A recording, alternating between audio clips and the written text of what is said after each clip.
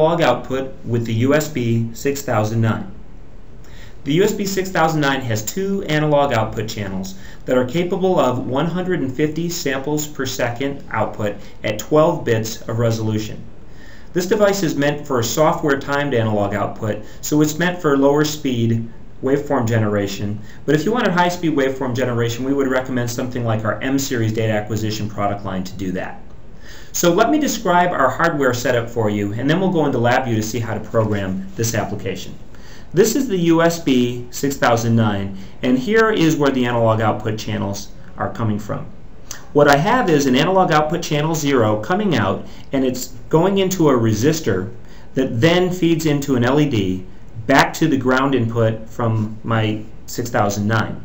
As I increase the voltage level of my analog output channel 0, it will drive current through this resistor and LED, and then as that increases, we'll see an increase in the light intensity from the LED itself. So that's our setup. Let's go into LabVIEW and program the application.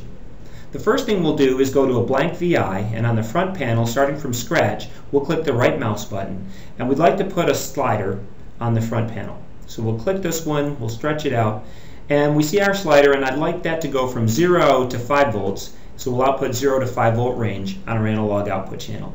And that's all we need to do on our front panel. Back on the block diagram, we're going to put our functions for analog waveform generation. So there you see our slider icon, and now we'll choose our analog output, and we'll get this through the DAQ assistant function that we put on the diagram. So this will open up and let us select to generate signals, analog output, and then we want to do voltage, and then we'll tell it it's going to be analog output channel 0, again, which is this channel right here. So now we'll go ahead and we'll specify a couple things. Basically what we need to say is one sample on demand output, and this is going to be the software timed part. Every time the software tells it to output a sample, it will. So it builds our function, and now we're going to wire the slider into this function right here.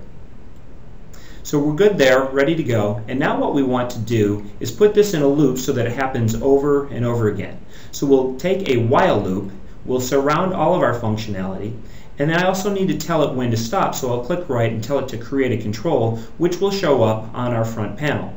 So now we're ready to go. We'll go back to the front panel. We'll click run on this, and I'm going to go ahead and dim the lights so that you can see the LED as we light it up.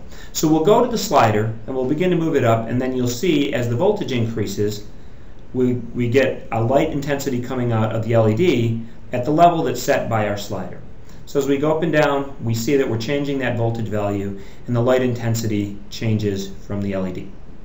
So this is a pretty straightforward application. I think you can see how to set it up. And this is how you do analog output with the USB 6009.